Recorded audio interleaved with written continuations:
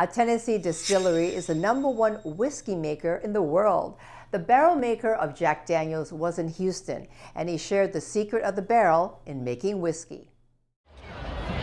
Making Jack Daniels begins with its barrels, and that is where Kevin Sanders comes in. He is known as the barrel man at the Tennessee Whiskey Company, where he has worked for almost 30 years. He says the barrel is a major ingredient. It is not just a container. It's a ingredient. You know, the whiskey goes in the barrel clear, comes out amber, all the color comes from the barrel and a lot of the taste. So what's happening there is the whiskey's going in and out of wood, caramelized with that sugar and that white oak, and that brings it out. We get all our great color and a lot of our taste there.